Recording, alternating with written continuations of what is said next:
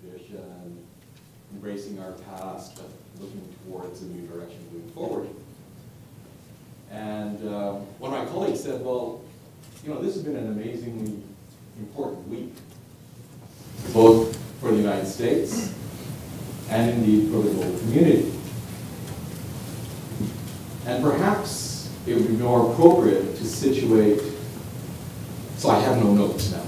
You're going to have to bear with me as I just try to roll through this, but situate this institute and this region and this hemisphere in a way that to stands to demonstrate to um, the rest of our communities, both here in the United States and around the world, the importance of the collaborations that can exist, the importance of bringing cultures together, the importance of, of sharing expertise. And we find ourselves positioned 25 miles north of the Mexican border and on the Pacific Rim. That's an important position geographically, but it's also an important position for the city. The city and the communities that live around us have now an opportunity to truly demonstrate how they can step up and become truly global in their example of what continental collaboration can really look like. And that was in fact the basis upon which I decided to shift the narrative of the institution. This is an institution which will look to capitalize on the immense richness and wealth of knowledge and experience that exists right here. This is, in the end of the day, the mecca, if you will, of innovation and entrepreneurship. Not just for the United States, but for the world. And what this, and I feel like a fraud saying it because I'm not an innovator, but this ecosystem, Ramesh taught me that word. This ecosystem serves to be a magnet for companies from all over the world. They come here for technology. They come here for proof of concept, proof of viability. They come here for the business skills required to grow startups to succeed. They come here to understand better how to protect and thus their IP. They come here to understand how to create a public policy environment that supports a culture of innovation. Not just at the level of companies, but the level of communities. And that innovation takes place in various forms. It's not just about the iPads and the cell phones. It's about innovations in legacy industries, whether it's in energy, energy transition, whether it's in water, whether it's in agri-food and health, or whether, as the OECD's 2030 report on oceans economy demonstrated, that the largest blue water and ocean tech cluster in North America sits right here in San Diego. And how do we take advantage of that? And how do we share that experience with what's happening with the rest of the Americas? How can we pull up and provide opportunities for young people to focus on STEM and the importance of STEM? And with all due respect to economists, diplomats, and lawyers, that it's okay not to be one. That perhaps your future might be better off being a scientist, being an engineer. Go see Al. Right? And that our economies, Canada included, which are largely commodity-driven economies, can benefit hugely by applying smart technology and smart innovation to those legacy industries to drive forward economic growth and prosperity, to provide sustainability, to take care of our environment, and create new and sustainable opportunities throughout.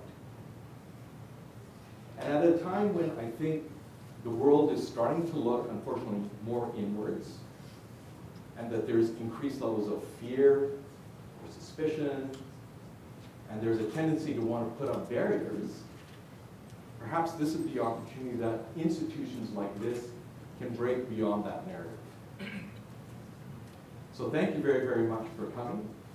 Come to the Institute again, and we're delighted to talk to you about how we're going to grow our energy program to include issues of sustainability, and how we've just added innovation and entrepreneurship as our two pillars of engagement. Come to visit our new Vice President for Innovation and Entrepreneurship, Carlos Martinez. Stand so you can see. There you go.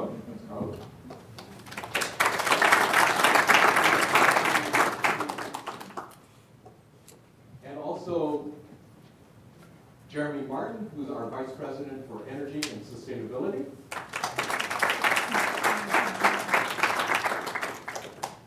And learn a little bit more about what our new path forward is and how we plan to collaborate and engage in this region and across borders to the betterment of our individual communities and collectively for our community of nations that really depend on openness, transparency, and collaboration for a much better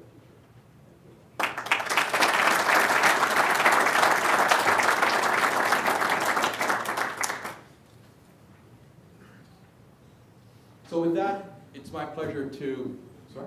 You really want me? Oh. I'm sure there's a good way for this. Right, and with, Just turn it off. Yeah, they're doing it. no, it's on. Right. So with that, it's my honor to, uh, to have Angel Gurria join us today in inaugurating the Institute's new strategic directions. Um, I don't think I actually need to introduce Angel because the coffee session seemed like old home week. He knows everybody in this room and more than I know. So, but nonetheless, uh, for those who don't know Mr. Gurria, he's an economist and a diplomat, something I'm still trying to figure out. It's certainly not common for someone to be able to succeed and excel globally um, as, as such. And before coming to the OECD in 2006 to become its Secretary General, uh, Angel Gurria was the Minister of Finance of Mexico and then also Minister of Foreign Affairs. Actually, before that. Before that, First, which finance. is First, Foreign Affairs then and then finance. Finance. So I went from the celestial to the work. He stayed in the celestial. I in the celestial, as you can see. So it's interesting that in that capacity, and given the current political uh, discourse, Angel Gurria was also um, the negotiator for Mexico on NAFTA. And many of my colleagues in Canada spoke so highly of him for his skill, his tact, and for being a tough negotiator. Imagine, if you will, at a time when the world was still coming to understand what free trade agreements were all about at a global level, that a hitherto known as a developing country decides that it's going to take on as a national mandate to negotiate with collectively the largest economies of the world. And he succeeded in pulling that together to make NAFTA, and I'm biased, the most successful trade negotiation globally that helped kickstart um, global rounds of trade negotiations and still stands as a model moving forward. Oh, thank you. And beyond those engagements at the public policy level, relevant to the communities in which we work here in California, I thought it was interesting that uh, since 2010, he's been a commissioner for the Broadband Commission on Digital Development, which leverages broadband technologies as a key enabler for social and economic development. And he also serves as a commissioner for the Global Commission on Internet Governance. So there's a piece of him everywhere. Angel, thank you very much coming. Thank you.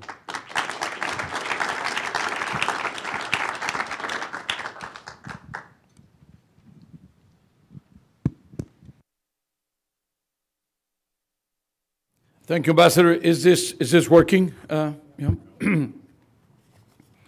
Well, um, uh, Ambassador Kokar, Jamal, Don Jose Galicot, uh, distinguished guests, ladies and gentlemen, um, I think it's appropriate that we're meeting on Veterans Day because, uh, because uh, I'm seeing so many, so many good friends, but um, I didn't have the privilege of uh, working or retiring in La Jolla. Um, we, we were, for our sins, uh, we were, you know, we were sent to this hardship place called Paris. So um, the food is terrible and the wine is even worse and all that. Um, but uh, delighted to be here in balmy San Diego as it's six degrees in Paris and it's raining. Um, to discuss an issue very close to my heart, and which is a strategic priority for the OECD, which is uh, the area of innovation. And uh, I understand that uh, Carlos Martinez has been uh, brought in from the MIT just to focus on this. And uh, certainly we're looking forward to uh, explore the synergies on that. It's a key driver of productivity, sustained growth, and well-being. It is central to addressing nearly every policy challenge we face, from health, the environment, food security, education, and the public sector efficiency. So before I start, let me thank uh, again Ambassador Kokart and uh, the authorities of the Institute of the Americas for the invitation. Many people, in fact, most people, have innovation within their genes. Uh, they tend to have innovative instincts. But seizing innovation's potential and actually turning, turning that into growth, jobs, improved well-being, requires the right mix of policies and regulations. It means creating the right environment by investing in research, education, knowledge infrastructure, and addressing critical barriers to innovation. Now, this is all the more urgent, not in the Americas, but across the world, because almost all of our countries are facing a challenging economic context. New sources of growth will be critical in turning the corner towards a more inclusive and sustainable future. Today, many of our countries are still experiencing sluggish growth. Global growth is stabilizing towards a modest 3%. Actually, we're going to come out, uh, I think, next week with our uh, economic forecast. We do it twice a year. We do May and November. And it's going to say it's 2.9. Now, so what? Well, the growth before the crisis broke was 4%. So, eight years into the crisis, we are still not growing at the speed at which we were growing before the crisis. It's that bad.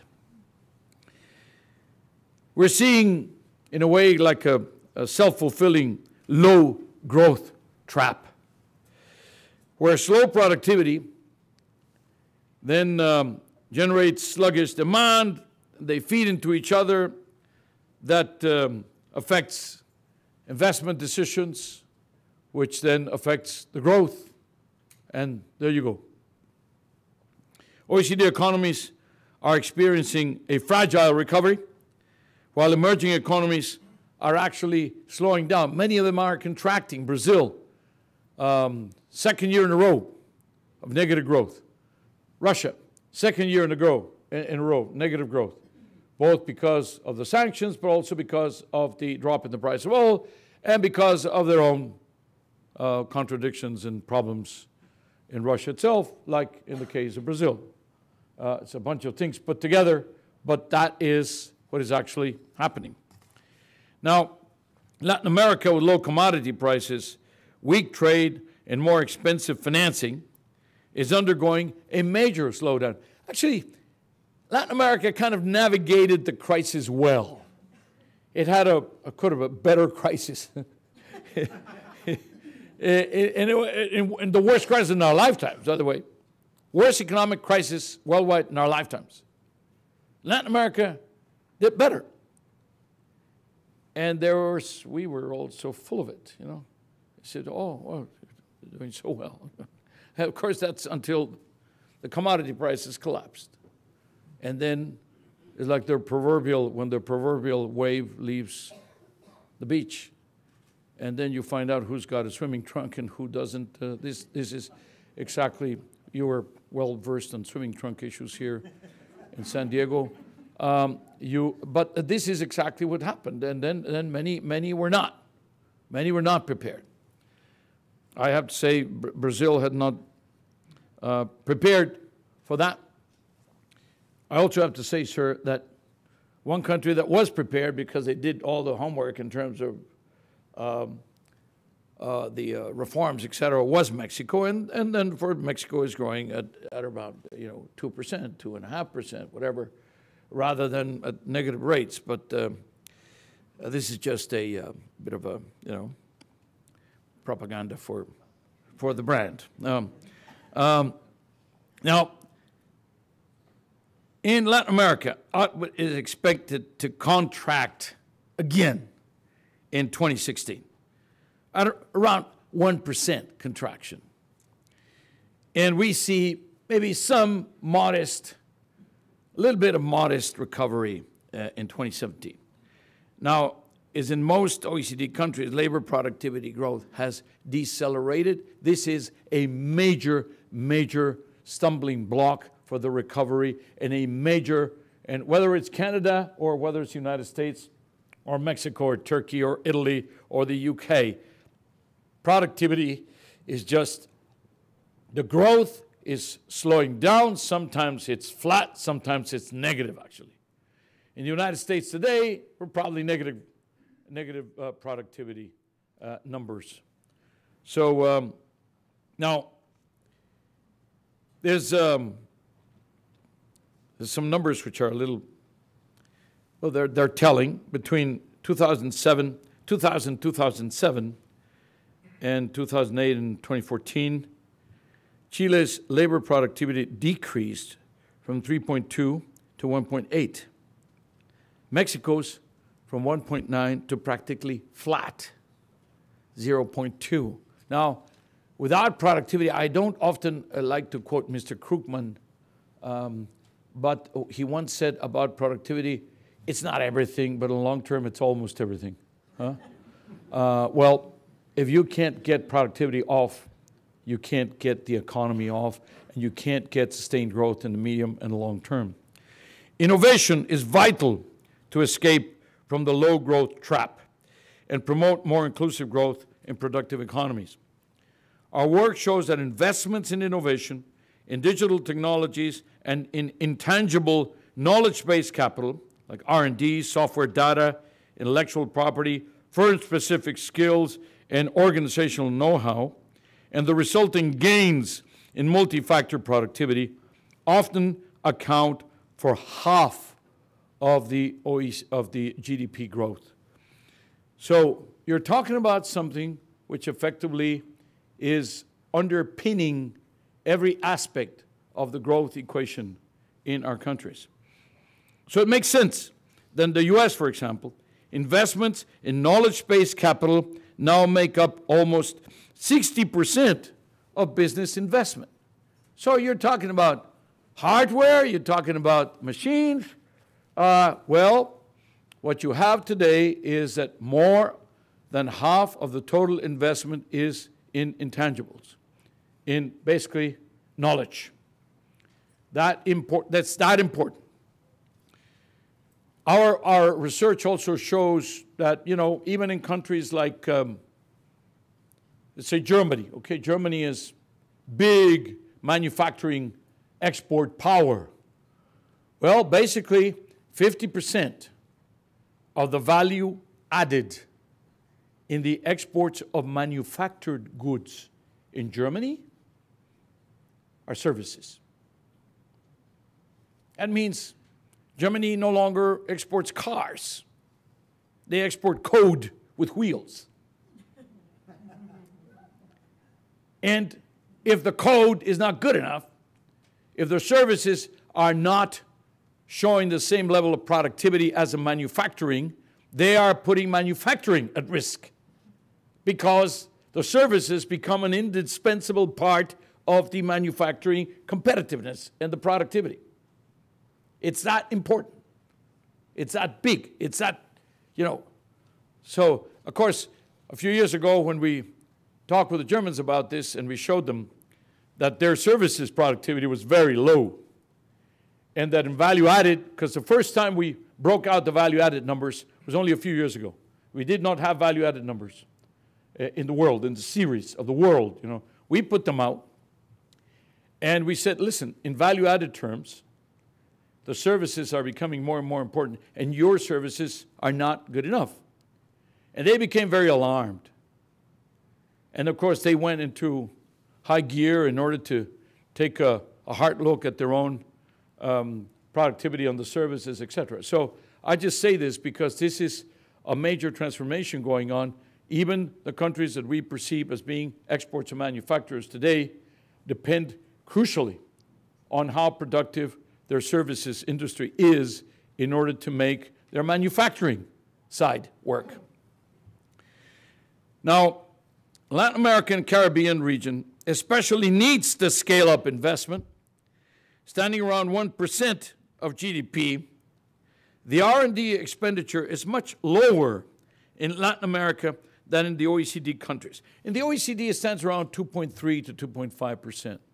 But there are countries like Sweden or like uh, Korea that are going above the 4%.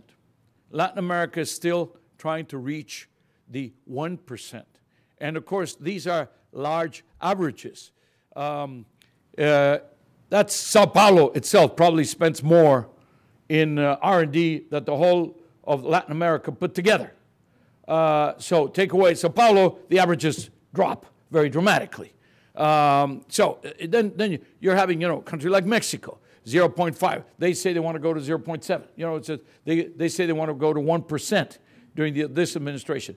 They're trying to get to 1%. And then who does the 1%? Is it the private sector or the public sector? How do they divide it up? We, we think that the best kind of arbitrary is two thirds private, one third uh, public. But the question is, how well do they work together? How well do they complement e each other? Well, if somebody's growing at 4% in this particular category and you are 0.7, that means you're accumulating a 3 to 3.5% drag every year, which is accumulated, and after 10 years, you're working for them. Simple as that. In particular, there's little support from the business sector in Latin America. An average Latin American business has spent around 0.17%. So one third, one sixth of 1% total. Significantly below the 1.47% spent in OECD countries. But it's also about investing in skills. According to the Latin American Economic Outlook 2017, which we just launched, jointly produced by the OECD, the Development Bank of Latin America, CAF. They, they, they actually plagiarized this name from the Inter-American. You know, they said, well, you, you work with both, but uh, you know, there's an Inter-American Development Bank, what they call El BID, no? And now the CAF, the Corporación Andina de Fomento, which is a misnomer because they work with all over Latin America, now they call themselves the Development Bank of Latin America. And you're not supposed to confuse them.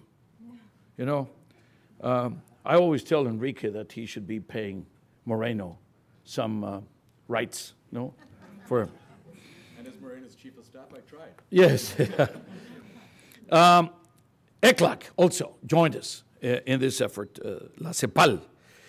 Uh, according to this study that we produced together, the region has the widest gap in the world between the pool of available skills, those that are there, and those skills that economies and businesses require. That means the ones that the market are demanding. The stock of what you would call the innovation capital um, is a common measure of skills measuring the capacity to innovate and disseminate innovation, is far lower in Latin America, 13%, than in the OECD countries, where it's about 30%. And in fact, more than 70% of the youth in Latin America are not sufficiently skilled to access good quality jobs. And part of their skills deficiencies have to do precisely with the familiarity with innovation. Now, to develop the skills needed for the digital age, people need to have access to digital technologies. Yet, nearly 60% of the world's population, 4 billion, are still offline, including around 50% of Latin Americans. And that's 300 million people. And only 10% of individuals have fixed broadband subscriptions.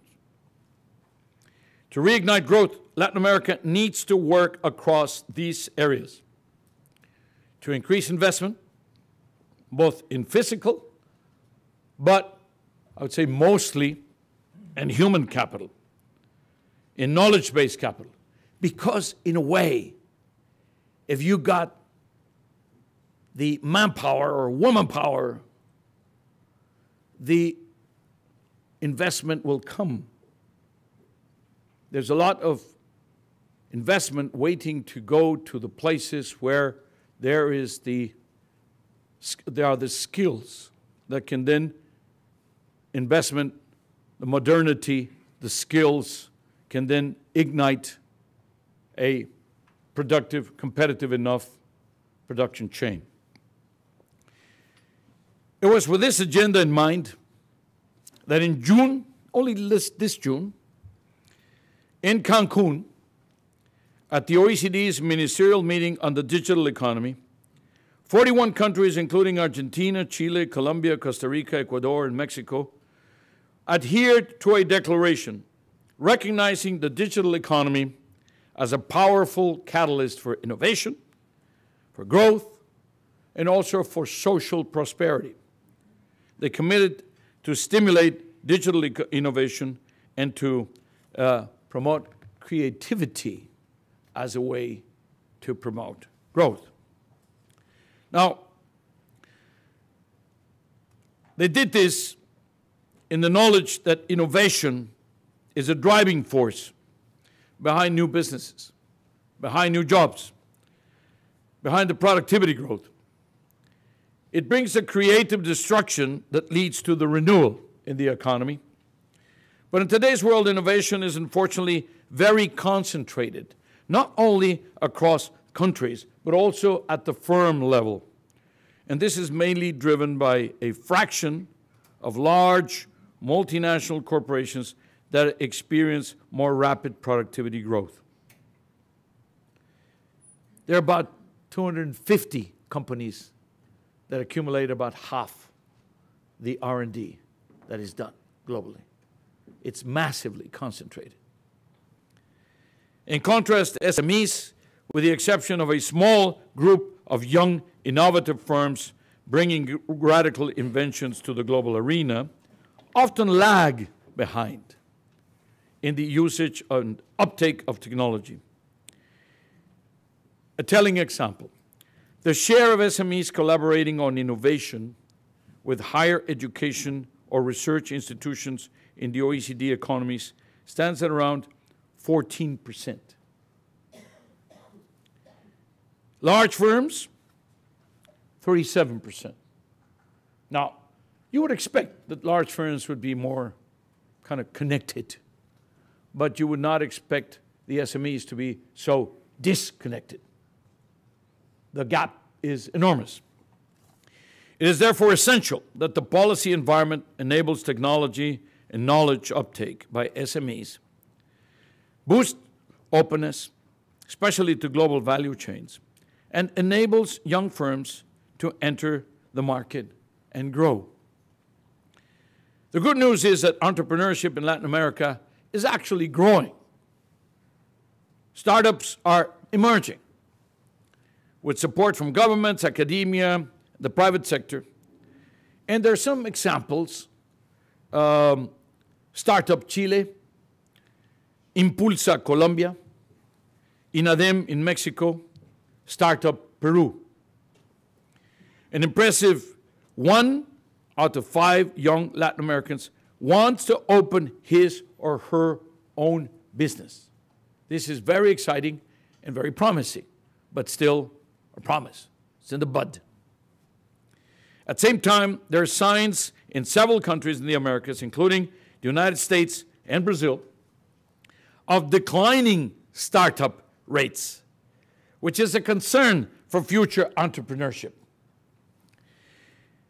Now, this is a global imperative, and we're beginning to see some decisive actions, but basically, what we call a churn, the natural destruction, disappearance of companies, and the idea that more are showing up and more are registering, this has slowed down.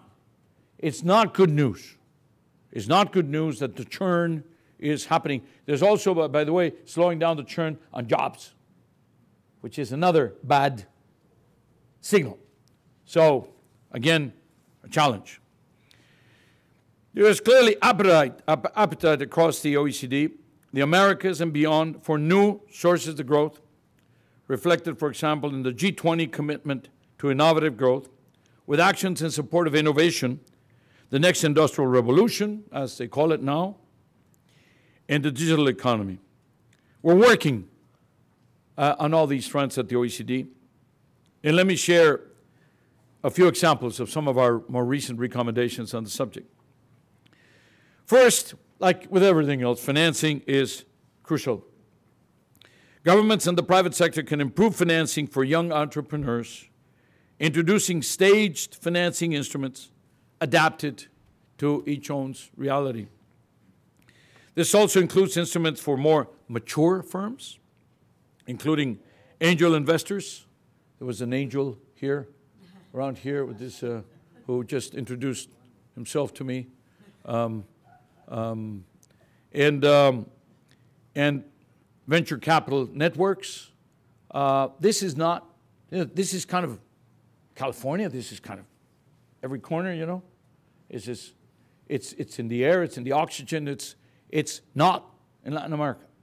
You just cross, cross the uh, borderline, and from there on all the way to Patagonia, you have very, very difficult equity um, conditions and even just the granting of credit. Why?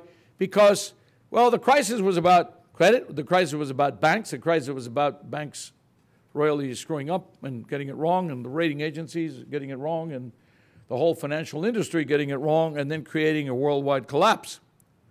Therefore, we have saying in Mexico, many of you are familiar with it, that once you got burnt with milk, you even blow when you're having yogurt, you know, just in case. Just so overly cautious now. Everybody is so cautious, uh, and therefore, uh, one of the problems we're having here is just the regular SMEs, much less than the startups, because startups are perceived to be. And this is why the United States, among others, has this edge, because here you basically you reward risk, whereas in Latin America, in the banking system, basically we kind of muffle um, risk taking and we don't reward it. So uh, that, is, that is a critical issue. We can also better connect young business creators to business networks and help integrate them in global value chains. Only about 10% of young Latin American entrepreneurs report at least one quarter of revenues from international clients compared to over 20% to 25% in OECD countries. They're not connected to the global value chains. They're working on their own, isolated. As well as integrating global value chains, many firms, especially SMEs, have difficulty translating research into commercial innovations. We can foster mechanisms to link business to research institutions and effectively transfer knowledge and technology, which is not picked up in the same way by a large multinational than it is by a small SME. We can also support entrepreneurial training among youth about management, about financial skills. They can have the greatest idea about the product or about the application. They don't necessarily have to be versed on finance or on management issues. And there's business counseling, there's business mentoring. Now, as well as upskilling people, we need to increase their access to markets by addressing regulatory barriers and uh, framework policies that favor incumbents. There is a massive bias in favor of incumbents. And there's a massive bias in the way of actually blocking the development of startups in many of our countries. And I can tell you, those incumbents are very busy making sure that not too many startups actually start up. Hmm? And, uh, you know, when there's legislation involved, then what I call the um, legislative dentists come out and they start taking the teeth of the legislation and the secondary regulation. And then the, so basically, you end up when they're trying to it's a, and, and then you, you, you, you, you really take away a lot of the impact that the initiatives would have had. Now, barriers to entrepreneurship in Latin American countries are 59% higher than in OECD countries, all things taken into account. We measure that. You know, we're always measuring things. We, we are about measuring, comparing, benchmarking, whatever, and then extracting policy uh, recommendations from the numbers, and we know. So 60% higher. Why should that be? Well, again, it's the incumbents, it's the, uh, you know, uh, a number of uh, credit uh, issues, a number of regulatory issues, um, simplifying legislation for firm creation, and offering incentives like temporary exemptions from taxes or social security contributions, of course, can help. It's not the key, it's not going to be the ultimate, but it can help. A key part of improving the regulatory framework is also reducing competition hampering regulation. Moving towards the best practice regulations has the potential to raise GDP by about 10% in the OECD in the medium and long run, and by as much as 30% in some large emerging economies the more emerging an economy is, the more low hanging fruit there is in terms of the very obvious decisions you can take to just do away with a bunch of the regulatory stuff. Why? Because regulations have a way of superimposing on each other rather than saying, okay, every new regulation, I take away one or even two of the past because they're no longer applicable. Regulations were created in many ways to favor incumbents in the past, but you don't take away the distortion that they create when you put on a modern one. So you have coexisting the regulations that are supposed to favor modernity with the ones that preserve the, uh, you know, the incumbents' uh, interest uh, in the past. Uh, we don't do uh, archaeology, uh, you know, regulatory archaeology enough um, in order to put the others in the museum. No. Uh, simplifying legislation for firm creation, for offering intensive, uh, in, in incentives, again, as I said, is quite important. Moving towards best practice regulation also in the, is particularly important with Latin America because product market regulation, again, something we measure, we measure it from one to six tend to be more restrictive than is typically the case in OECD countries. And finally, countries should support access to broadband services to help people make the most of opportunities. Earlier this year, I launched the Broadband Policy Toolkit for Latin America, a joint effort by the OECD and the Inter American Development Bank, the IDB, to share good practices and spread the benefits of the digital economy in the region by expanding infrastructure, increasing competition, public access, and improving regulatory frameworks and regional cooperation. Let me just tell you a short story. In Mexico, as you know, the question of broadband and telecom was not precisely a wide open competitive country. Uh, did I say that elegantly enough? Mm. Okay. Oh. So, what happened, we produced in 2011 and 2012, we produced a report by the OECD saying how much it cost Mexico not to have a competitive environment. Now, the incumbents said, How can you tell me that the cost to Mexico is higher than the total revenues we have? And he said, It's very simple, because it's not about the revenues you have, it's about the cost to the country of not having competition and having you know, 20 times more cost than Korea for access to broadband. Why should we pay 20 times more?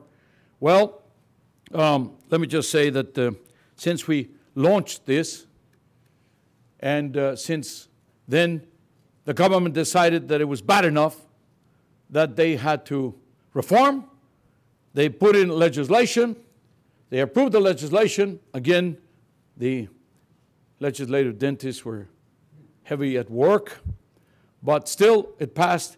Since then, it's only been a few years, the cost of broadband has dropped by a fourth, and the access to broadband has increased by 50%. Now, imagine how that affects the overall productivity of the whole of the economy, not just the finances or the numbers of a person or a particular company. So it just it's a quality move forward, but it was because it needed to have this vital transformation. The monopolistic practices were blocking actually the improvement. Now, why is it suddenly it was possible to drop by a quarter and it'll probably continue dropping because now with competition, everybody's going to be trying to gain, you know, 130 million people. It's a lot of people. With a, with a growing middle class, you, you, you're obviously going for that, for, that, um, for that market. And prices are going to continue to fall like they were falling in every single other market except Mexico. The best we could was to stall the increase in prices for a few years while we were doing the study. The once the study came out and the regulation came out, the new regulator was installed with a lot stronger powers and capacities, including capacities about competition, which were taken from the Competition Commission to the uh, telecom regulator. And now we have 50% more access and, and, as I said, 25% more, more, more costs and still, it's still falling. So it's just, just a, an example of the kind of things that can happen. Now to hone in one key area, this toolkit that we delivered to Latin Americans in Cancun makes recommendations to increase accessibility and affordability for disadvantaged groups and those living in rural and remote areas. Countries should avoid sectorial overtaxation that deters broadband expansion. Typically, in some of the cases, the taxman is tempted to say, well, this is a fast growing and uh, relatively cheap service, therefore we can tax it uh, and we'll just get more and more revenue. And of course, lo and behold, they may be doing a very big disservice to the um, growth of productivity, not just of access to broadband.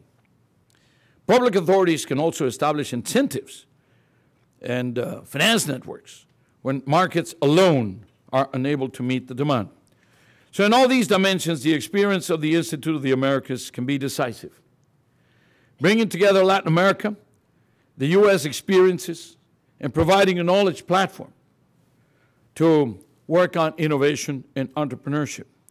And I like to say, uh, Ambassador and dear friends, ladies and gentlemen, especially the, the, um, those responsible for the innovation policy here at the Institute, uh, we uh, frequently find ourselves um, feeling a little short in terms of our own competence and our own capacities in the single fastest moving sector in the world economy.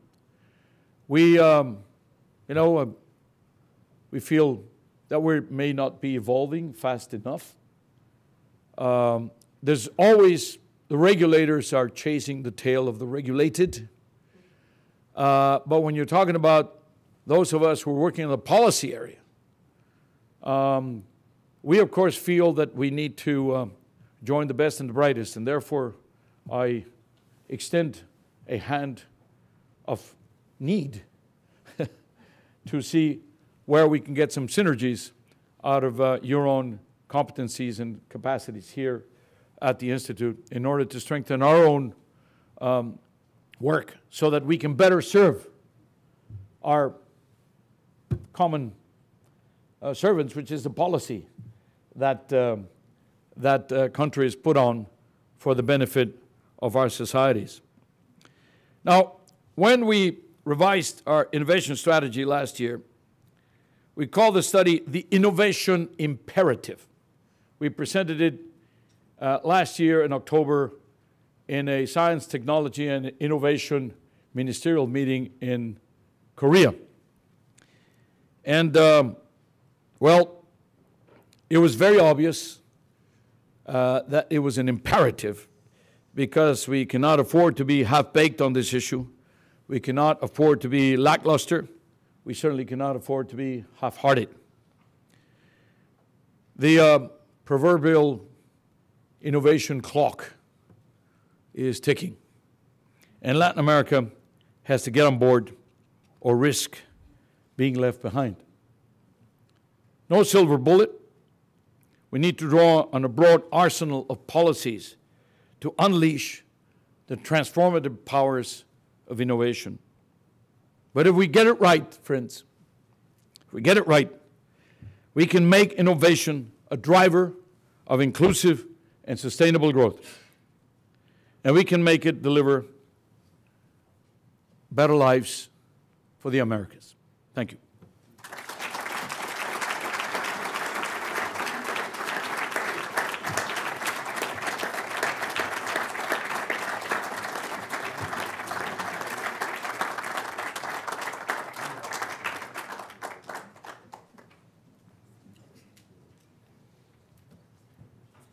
Microphone, do you want? Roll call pins and the other ones. Okay, good.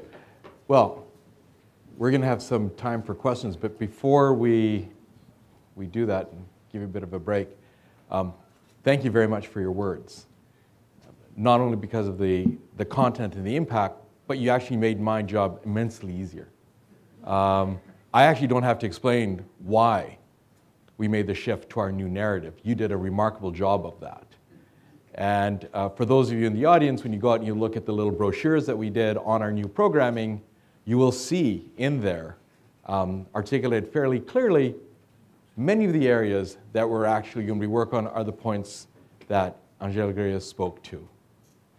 The importance of creating a policy environment that supports innovation and the importance of creating and supporting uh, the educational base that comes with it at all levels, both at students as well as at entrepreneurs, as well as companies themselves. So it was immensely rewarding for me, uh, made my job a lot easier, and thank you very much for, for bringing that forward.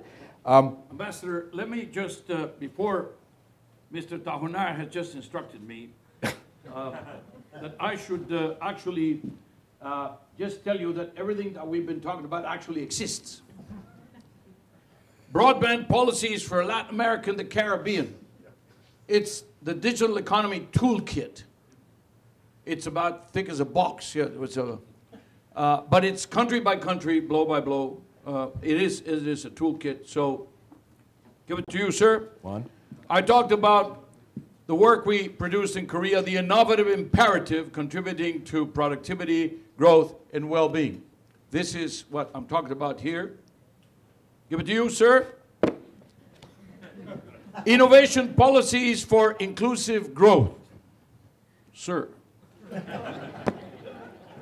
Startup Latin America 2016, building an innovative future. Sir.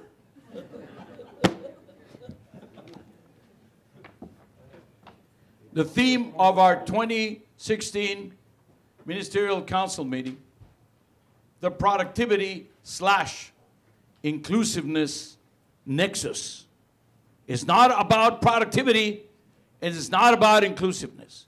It's not about growth only and not about redistribution only, but about the nexus, the things that bind these two fundamental concepts which can't go without each other. Now, when I first produced this idea, I call it inclusive productivity. And they said, You are absolutely out of your mind. That's a contradiction in terms. I said, Yeah, this is the same thing they told me when I said about green growth the first time. And now, there also, you know, you always say green growth. Well, the productivity, we had to negotiate and compromise. So we did not call it inclusive productivity. We call it the productivity inclusiveness net nexus. So it's a little, it's a little bit more boring, uh, and it's a little bit more kind of mainline, main, you know, mainstream. But there, here it is, the productivity inclusiveness ne- nexus, for which, of course, innovation is crucial. And now, together with the CAF, the Corporación Andina de Fomento, together with the OECD and the ECLAC, uh, we just delivered, as I said, uh, and there was, there was recently a, in Cartagena, in Colombia, a summit of the Ibero-American leaders. That's the King of Spain and the President of Spain, or the Prime Minister of Spain, and the President and the Prime Minister of Portugal, and all the presidents and leaders of Latin American countries. And we presented youth, skills, and entrepreneurship. This is for Latin America. This is called the Latin American Economic Outlook. We, this is the 15th edition of this. So, again, I like to. Now, this is for Ambassador Cocart's insomniac nights. But the OECD uh, technology means you put it under your pillow And absorbs. and then you, you go to sleep, and the next morning it's all there. You know, it's all there. It's all there. So, so thank you. Sorry for the in, for the interruption here. Not at all. Well, what a pleasure. Thank you very, very much. Let me, I was just going to say, you know, one of the real pleasures of being the president of an organization like this and having recruited a vice president for innovation and entrepreneurship is the art of delegation. Very good. You're very welcome. No, but mean that, that, that uh, we've got a team uh, between Jeremy and Carlos that are truly committed to advancing these very issues. They're all online, by the way. So And we worked well together, and, and uh, I see Mary Walshok, who's uh, on our board, but is one of the pioneers of innovation and, and innovation thinking. And, uh, and certainly here in, in the region and globally.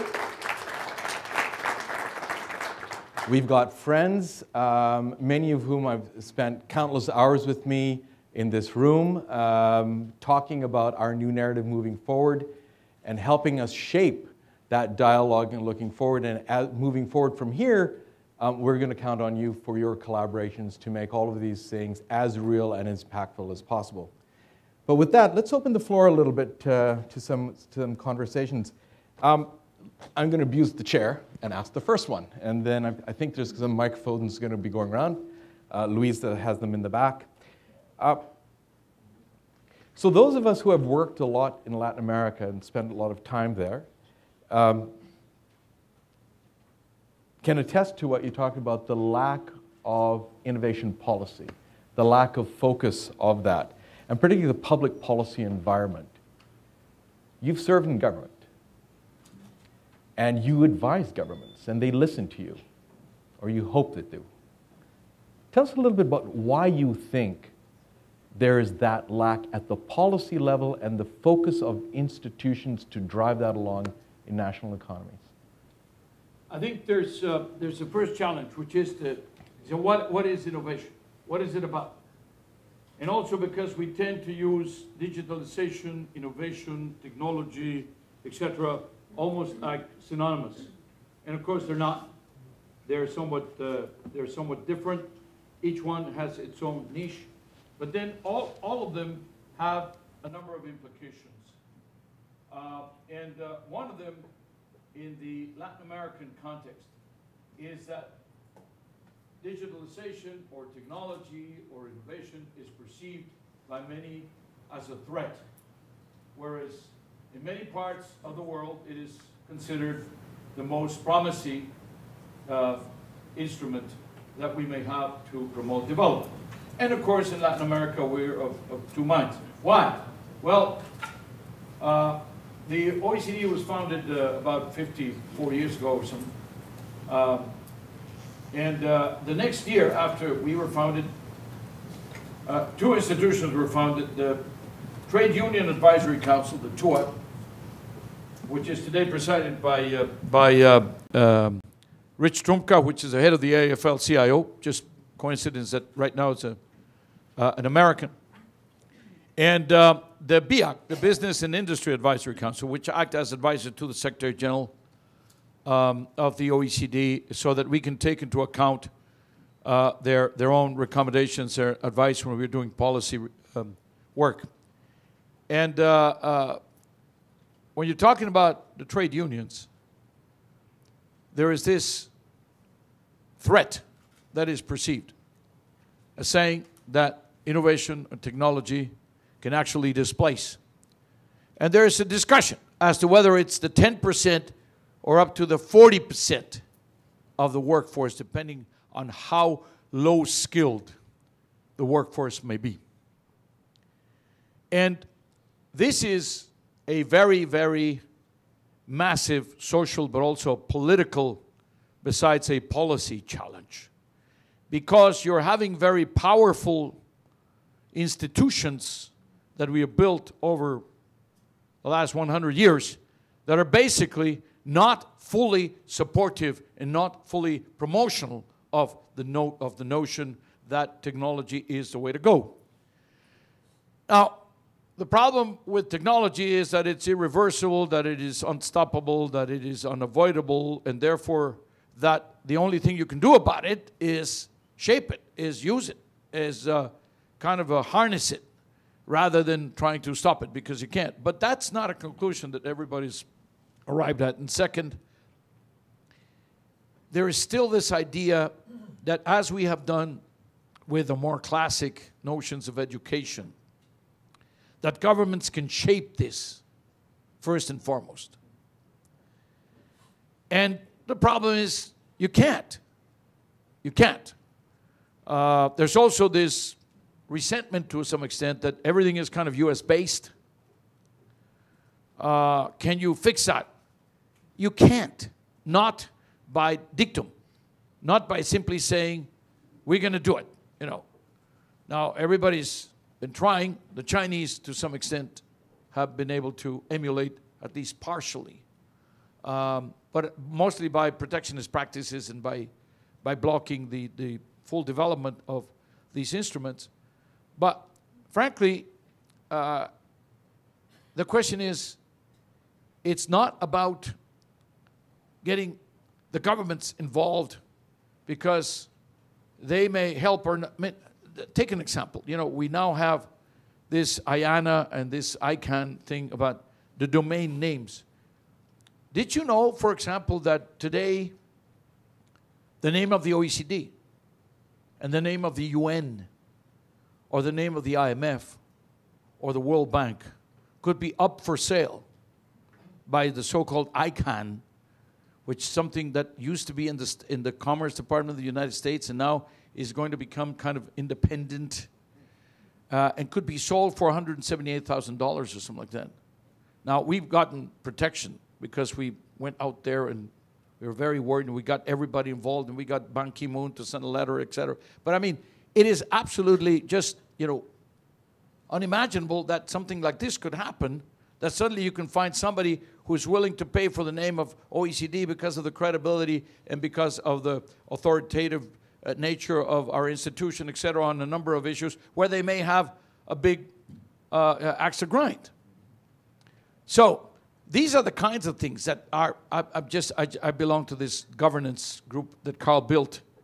Uh, we delivered, precisely in Cancun, we delivered the big report of the governance group on the internet, uh, uh, looking at some of these things. The combination of the, the privacy together with the question of security uh, and all these balances you have to keep.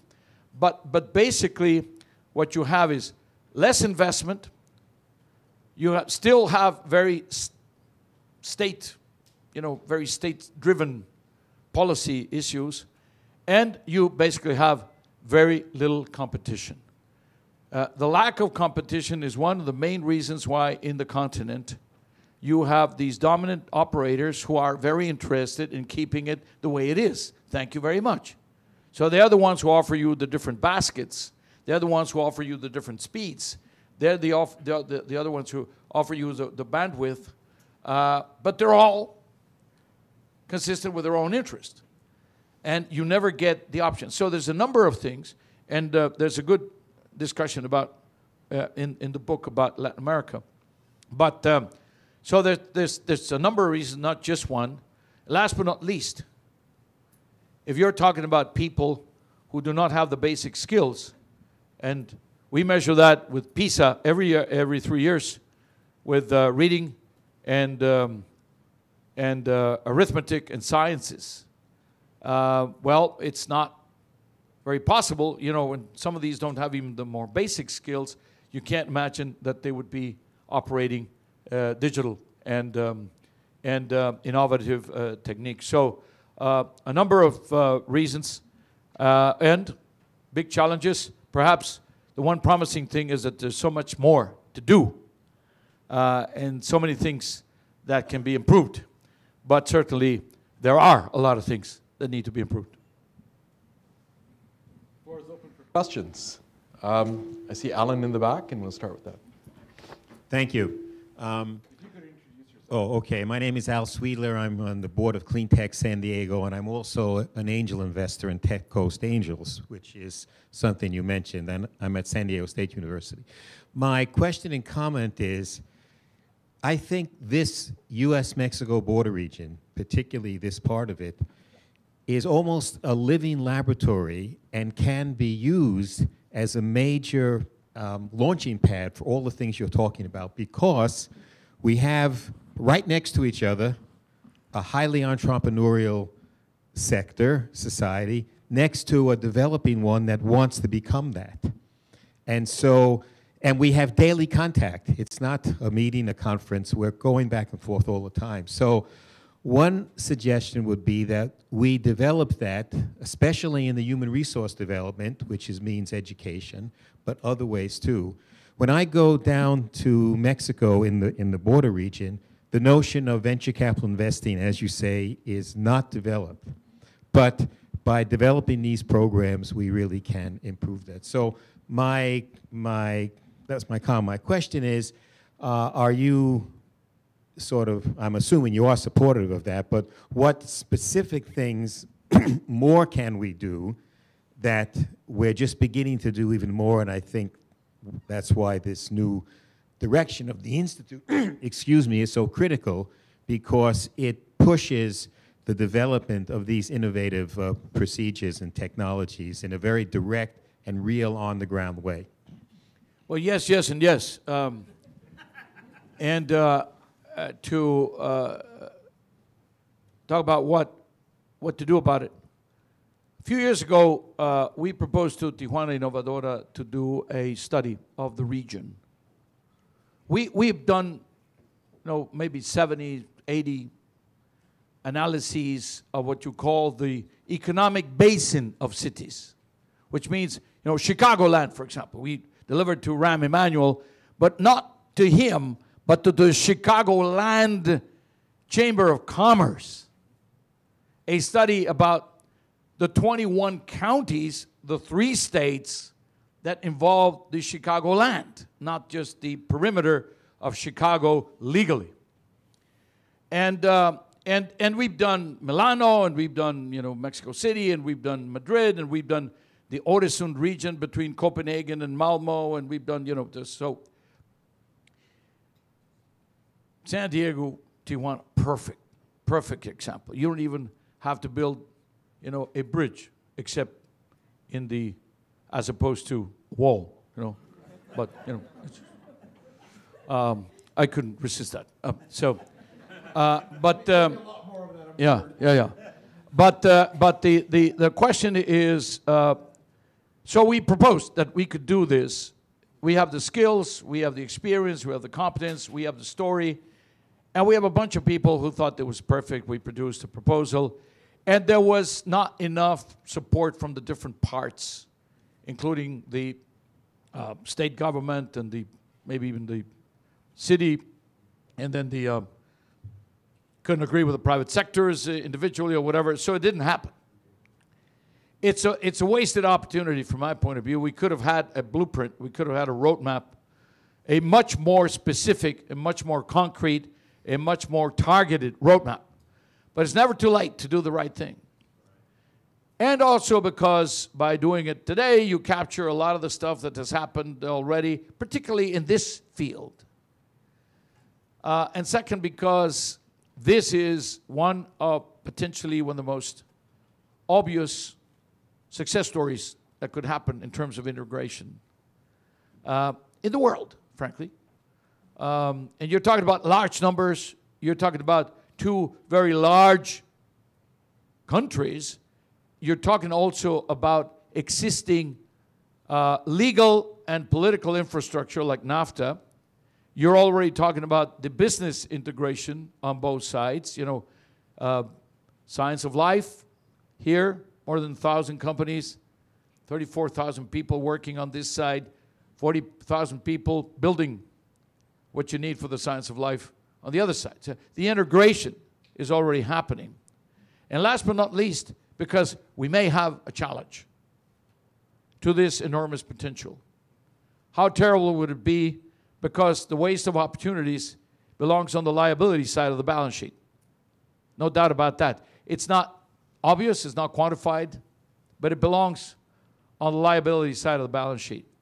And frankly, when we're talking about a country like Mexico, but even for the United States, can't afford to lose opportunities, to waste opportunities.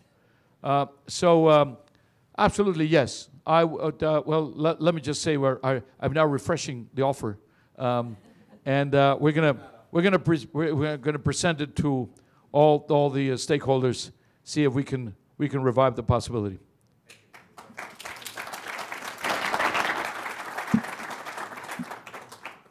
Well, we'd certainly be delighted to pick that up, um, and we'll work with our colleagues, of course, at Tijuana Innovadora, but uh, the Consul General, Deputy Consul General of Mexico.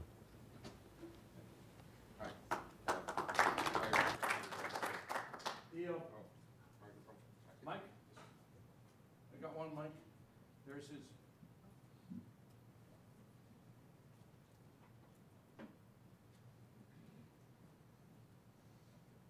Thank you.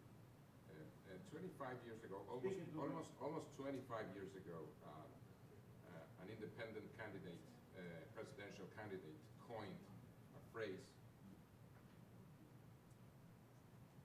coined a, a phrase, giant sucking sound, to refer to the negative impact of NAFTA.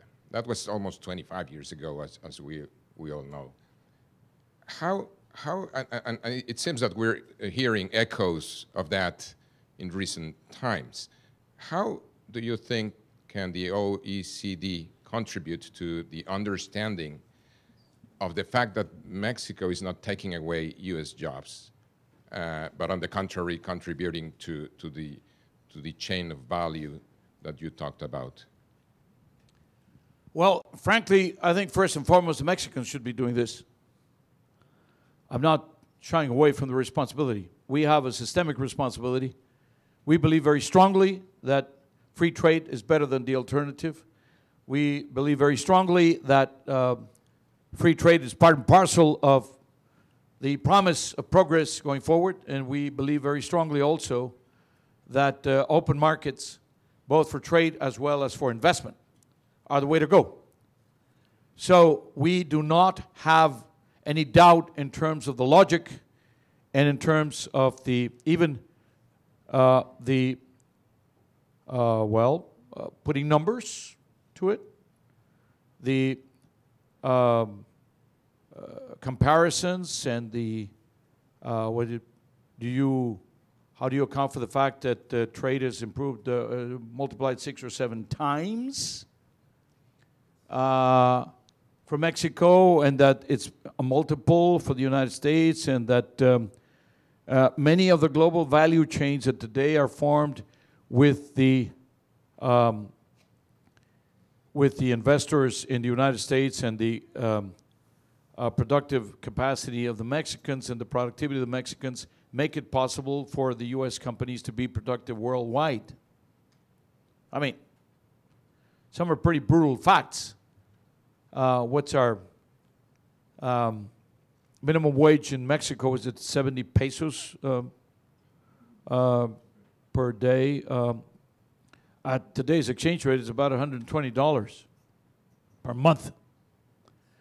This is about what one qualified operator will make in a day.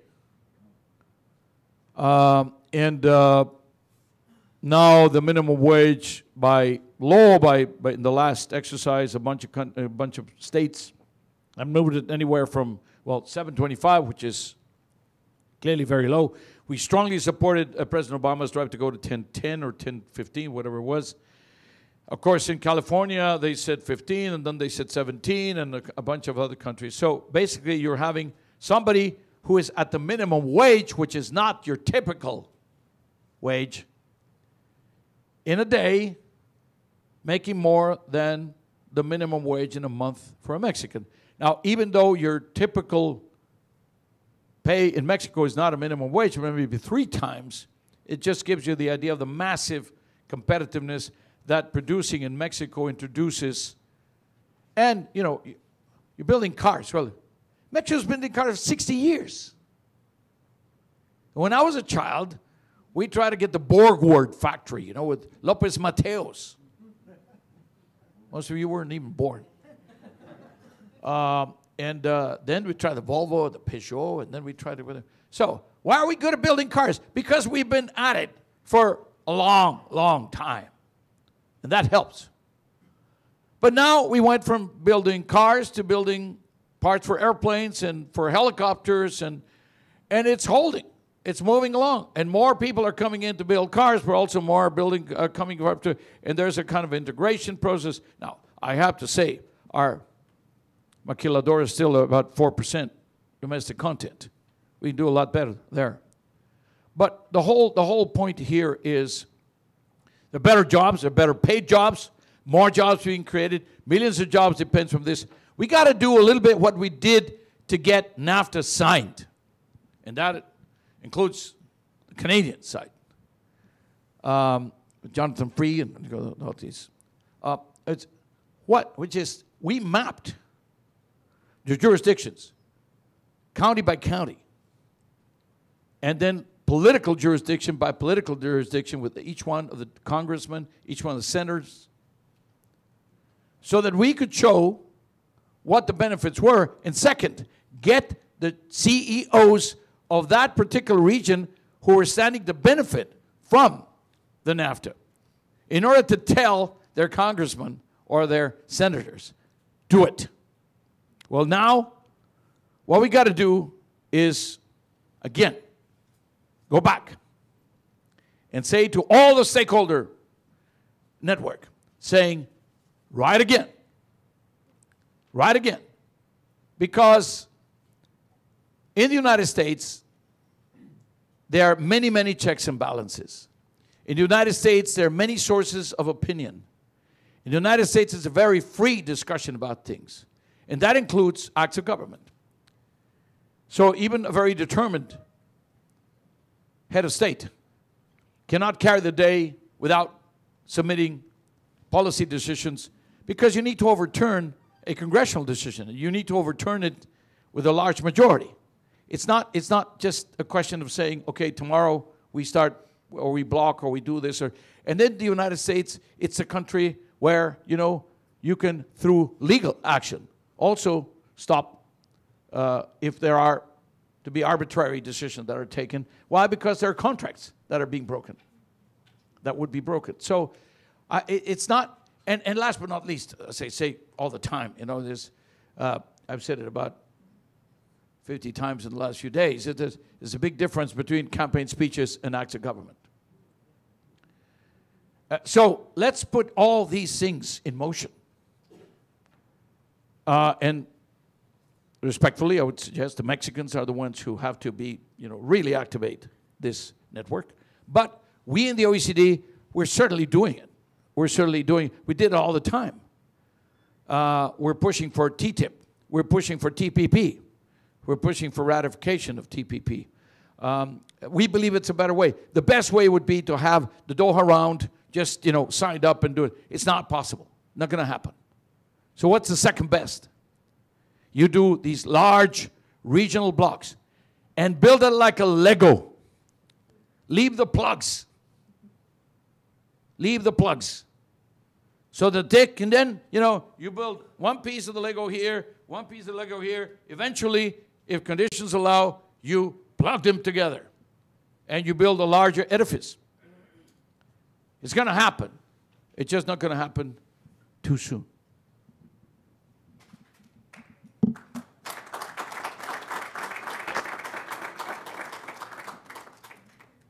Well, Legoland is just up the street, but given that, um, we have one question over there. Doctor Gurría, gusto de verlo de nuevo. Good to see you again. Enrique Morones uh, with Border Angels and the House of Mexico. You may recall that uh, when I was vice president of the Padres, I invited you to Qualcomm to see Fernando Valenzuela pitch for the Padres and how proud all of us were and continue to be of being Mexican. Fernando, Cesar Chavez, Lorena Gonzalez, etc. Well, of late, uh, we have seen the image of Mexico torn apart. Torn apart. They're, they're even talking about a wall, etc. So the image of Mexico is more important than ever. So what can, can you do to help us uh, in, in working with the Secretary of Tourism and others to promote that spirit of Mexico? On the, on the Border Angels side, which is putting water in the desert to save migrant lives, we're literally opening the door next Saturday so children can hug their deported parents at Friendship Park. We're going to do that on November 19th. So that's already done. That's a positive image. Love has no borders. But where we need your help and everybody else's help, we want to have a House of Mexico, our own House of Mexico here in Balboa Park and throughout the country so that we could promote our very proud culture and heritage. Because the negative image affects the economy, affects innovation. It, it makes people feel maybe downtrodden. And uh, we need our spirits lifted. And we want people to be very proud of their roots, whether you're from Mexico or from wherever. Every country is wonderful. But some people, and we know who I'm talking about, have attacked us in a very vicious manner. And it's very important that we stand up nonviolently, but to promote love and culture.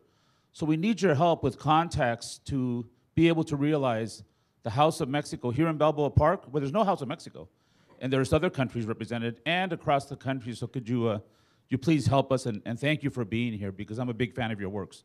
Muchas gracias.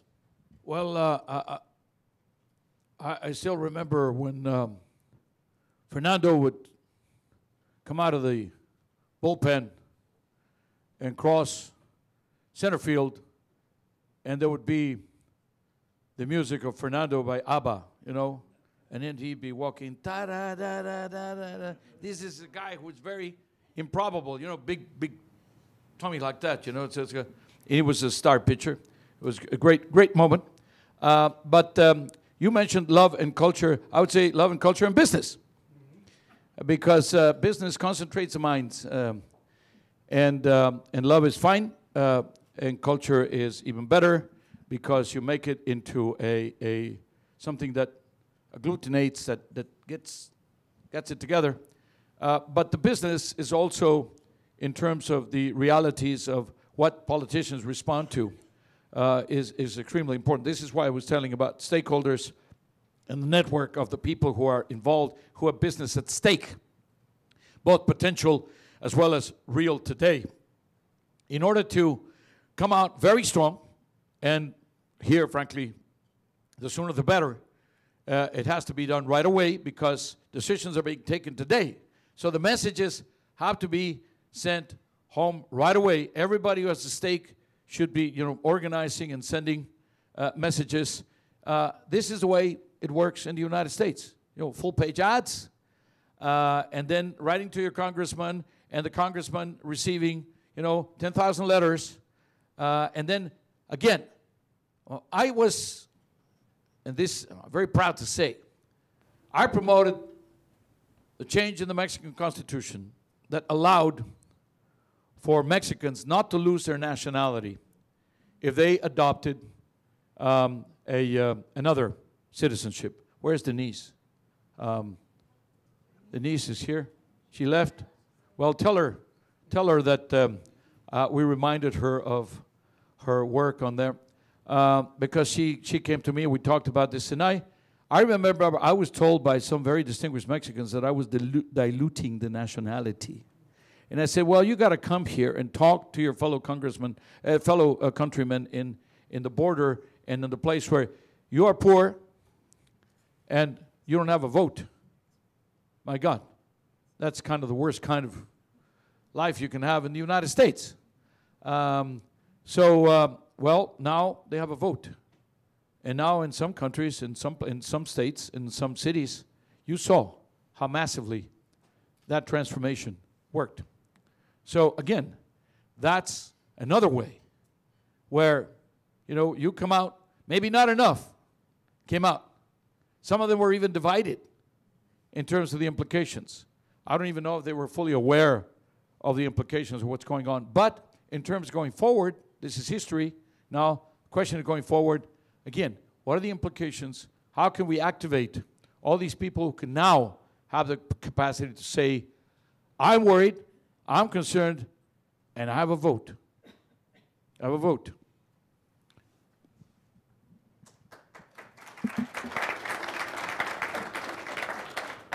I know there are a lot of questions, but we'll take one more from this gentleman here. Hi, uh, my name is Richard, and I'm an economics and applied math undergrad here. And um, I, my question was, what uh, what recommendations does the OECD have to make free trade more ec- electorally popular? Not only here, like um, because Trump recently won Wisconsin, he won like all the Rust Belt states, but also in places like Japan, which have productivity issues and uh, stagnant growth. I think we have a problem that is bigger than trade. We have a problem that globalization is perceived not to have delivered. I just talked about the fact that we are growing at below 3%. The world. The United States is growing 2%. Uh, Europe is growing below that. Japan is growing below that.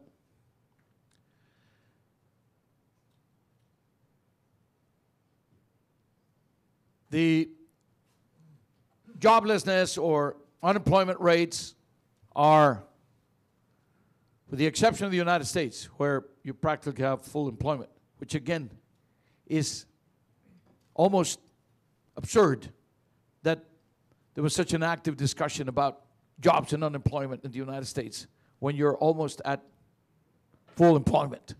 I mean, it was, this should have been loud and clear, you know, should have been put on the table and said, What are you talking about? Created 16 million jobs since the crisis. But anyway, it didn't happen, and we know the story. But investment, investment. I said trade was growing at 1.7 instead of 7%. Investment is growing at 3% instead of 7%. It's still below the numbers of the be, before the crisis. In Europe, way below. You're talking about inequality growing. I mentioned the numbers, or I've been talking about the numbers, you know, uh, 10 times the income of the poorest fits, the income of the poorest 10% fits 10 times into the income of the richest 10%. Average OECD, ah, yeah, averages. Mexico 20 to 30 times, Brazil 50 times. These are the kinds of issues. Now, so inequality uh, growing because there's nothing like a big crisis to generate unemployment, which then, of course, uh, exacerbates inequality. So we're not delivering. And what are young people reacting like? Well, they basically don't believe in presidents. They don't believe in prime ministers. They don't believe in political parties. They don't believe in congresses. They don't believe in parliaments. They don't believe in multinationals. They don't believe in banking. They don't believe in anything we built over the last 100 years. They don't believe in democracy. And that is why they don't vote. And because they don't vote, we lose the vote. Why did we lose Brexit? Only 40% of the British youth voted. And their whole future was at stake. The ones who beat them were the retired people and the people in the low skilled who moved to the other sidewalk when they see somebody with a turban. They made the whole question of immigration, very, very false numbers, into an issue that dominated the discussion when we had been saying it is absolutely positive, net positive. Migration in the UK is net positive, has been, continues to be, even fiscally net positive. Nobody was listening to the numbers, by the way. I went there and made an impassioned speech at the London School of Economics, gave so many, you know, interviews and, and put out a book about all the costs that the British would involve, would, would engage with, with, with, it, with Brexit. Didn't matter. The Minister of Education said famously, we were working with them all the time. Minister of Education should be kind of evidence-based, you know. He said, experts. Who wants the opinion of the experts? You know, Minister of Education, not, not the politician. So, um, why did we lose the vote in Colombia? 37% of the people in Colombia voted. 18% of the voters decided the future of the country on the single most important issue of their lives and of the last half century of the country. Why? Because they don't think that a referendum is going to solve their problems. And perhaps if you look at some of the statistics and the numbers of the last election here, those that are the toughers, the toughies, you know, the ones that are more convinced about this is not working, this is not good, they're the ones who go to vote. The ones who are kind of happy or satisfied or who think there's a better future out there didn't go to say, I'm going to defend my future all the things that I believe on. So, what happened? The other guys won. So, I'm just saying this because it's not about trade, sir. I think we got to do a better job, like the consul of Mexico suggested, in terms of putting out the numbers again, loud, spending money, because you got to get to the consciousness, the awareness of the people. You got to make it stick. You got to get to the congressmen, to the senators. You get to the public opinions. You get to, get to, get to the editorials of you know the big journals and magazines and television, etc. But basically, it's not just about trade.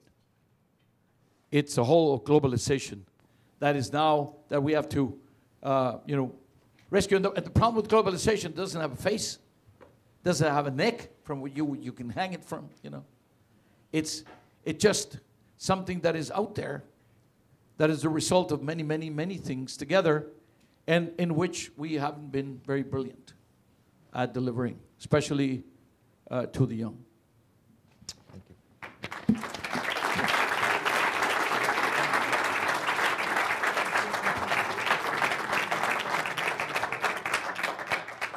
Well, I'm sorry to have cut off the conversation because I know there's so many questions out there and you're such an inspired speaker and, and, and engage with the audience on, on key issues uh, of substance. Um, but let's use this opportunity to celebrate a little bit and celebrate two things. One is, is, is obviously the launch of the Institute or the relaunch of the Institute, but especially your contributions um, to us here and more importantly, your contributions globally. And certainly at a time when the world could use more global statesmen and global statesmanship, your career, if nothing else, is a testimony to leadership, both domestically and globally. Of your times as minister in Mexico, it was said that you represent the very best, the pinnacle of both civil service and a technocrat whose instinctive appreciation for politics combined with a natural and great gift for communication make you the ideal champion to represent Mexico. And I would say that with your time at the OECD, make you an ideal champion for internationalization and globalization. Through your successive terms at the OECD, you've earned the respect of the leaders around the world's largest economies.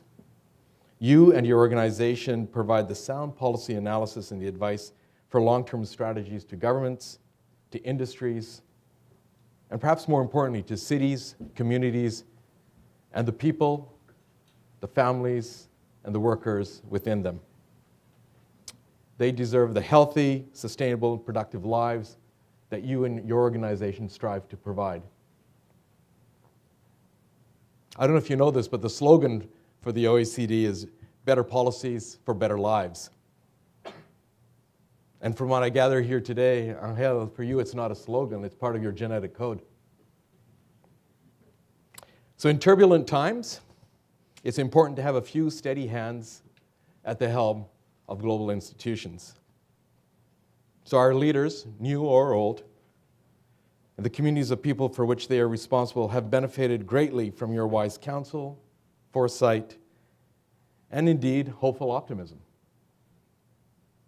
And with this, I'm immensely proud to present to you the Institute's very first award for global leadership.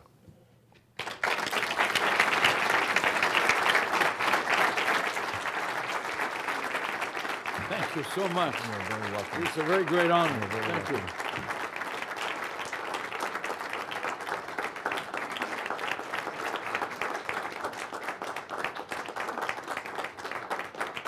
Thank you, thank you very, very much. Thank you. This is, It's heavy this too. is great.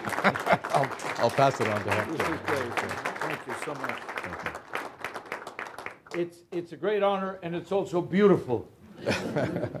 Very beautiful. I'll, I'll, I'll put it in the front of my office there with great pride. Thank you so very much. Thank you. I'll pass it to Hector. In the meantime, I'll give it to Hector.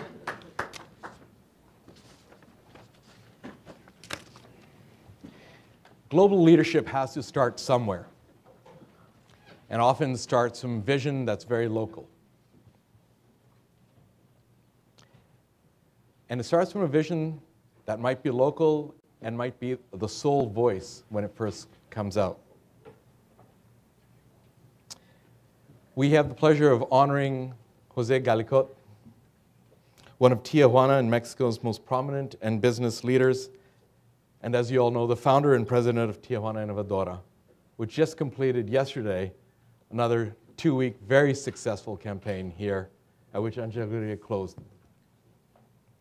Don Jose is known and indeed well loved in this region for building a new sense of identity for Tijuana and its citizens, and increasing international standing, its international standing as a vibrant entrepreneurial community and cultural hub. In doing so, he's brought attention to the value and the strength of this bilateral, or sorry, binational community. Indeed, he's shown the potential of a region whose sum is greater than the parts. He started Tijuana Innovadora at the most darkest periods of that history's history, of that city's history. And through his passion and through his work, he has showcased Tijuana as an economic, social, and cultural engine which supports and drives innovation and creativity, and that brought renewal to the city that he so loves. He's one man who had a vision for this region when few others did, and pursued it to a reality that we all benefit and appreciate today.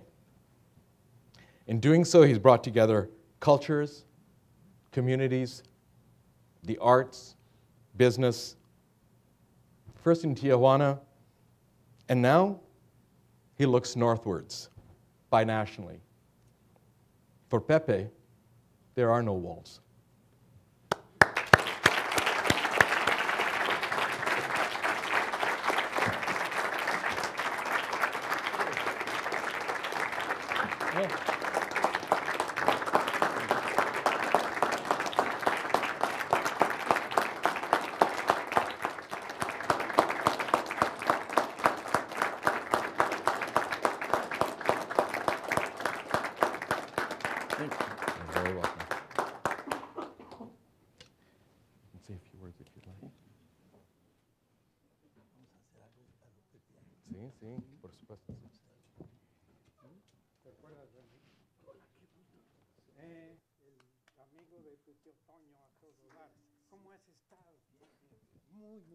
Amigos, acabamos de encontrar al amigo de nuestro tío Toño. Bienvenido. Vamos a hacer una traducción simultánea. Me va a ayudar mi amigo. Y qué hermoso día es hoy.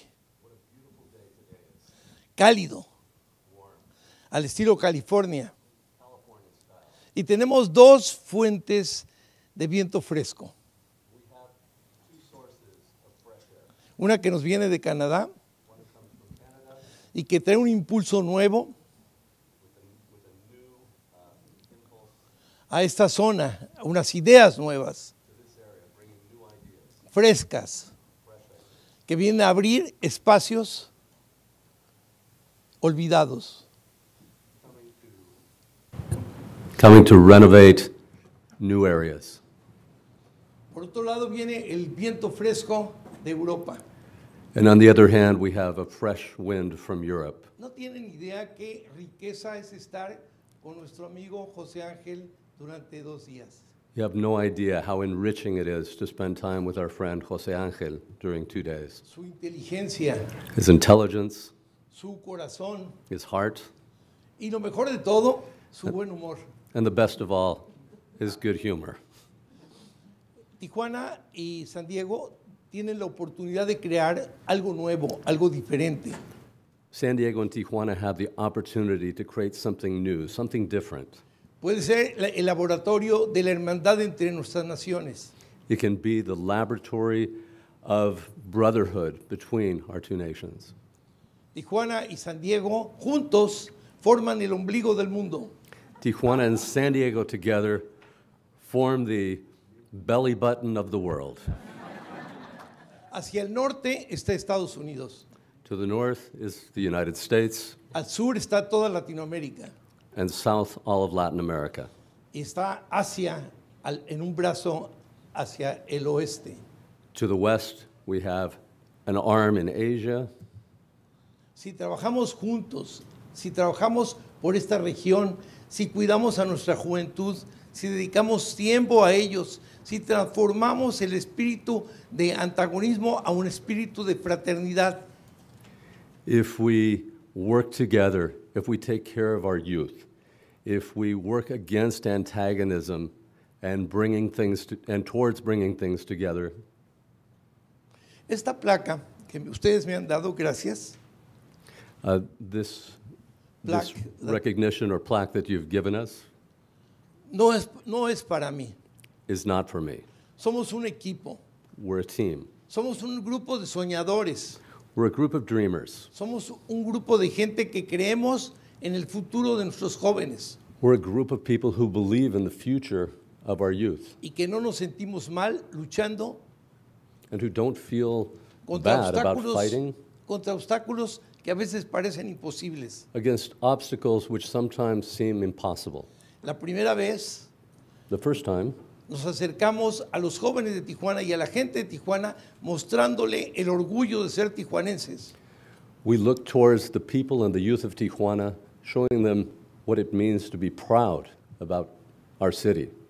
En la segunda vez nos dimos cuenta que San Diego y Tijuana estaban ahí y San Diego estaba, no, nos, no había una relación entre San Diego y Tijuana. The second time, we woke up to the reality that we have San Diego here, and there wasn't really a relationship between the two cities. Solo el 9% de la gente de San Diego pensaba que Tijuana era importante. Only 9% of the population of San Diego thought Tijuana was important. Hicimos un evento We put on an event en 2012 in 2012, y logramos que hoy día and we accomplished that today el 60% de la, de la gente de San Diego piensa que una relación con Tijuana es admisible. that 60% of the population of San Diego today believe that a relationship with Tijuana is important. La- el tercer evento The third event fue encontrarnos con nuestros hermanos mexicanos en Estados Unidos. was to find our brothers in the United States, descubrir la diáspora mexicana. to discover the Mexican diaspora. Uno de cada cuatro mexicanos vive en Estados Unidos. One out of every four Mexicans lives in the United States. Tienen un per cápita de 40 mil dólares. They have a per capita income of $40,000. Don José Ángel nos acaba de señalar que el per, cápita mexicano es de 5 mil dólares. And Jose Angela just uh, told us that the per capita income of Mexicans Ocho. is $5,000. Ocho. No, uh, it's, it's a little bit higher. You take the PPP, it's about, uh, uh, puts up 10,000, maybe towards 10 and 15, depending on how you count it. But anyway, it's low. Muy bien. Entonces, miren de quién tomé la información. ¿Eh? ¿Qué tal? Look- Mi look fu- who I get my source es information from. buenísima. Y el último, lo que acaba- acabamos de cerrar ayer, es la, la intención de buscar que los jóvenes And the, the last event, the one that we just finished yesterday, was to look toward our youth eh, vayan hacia el futuro, busquen las industrias creativas. and motivate them to look towards the future, towards creative industry. Lo hicimos una vez, We did it once, lo hicimos dos veces, we did it two times, lo hicimos tres veces, we did it three times, lo hicimos cuatro veces. we did it four times. Oh, sí. Oh, yeah.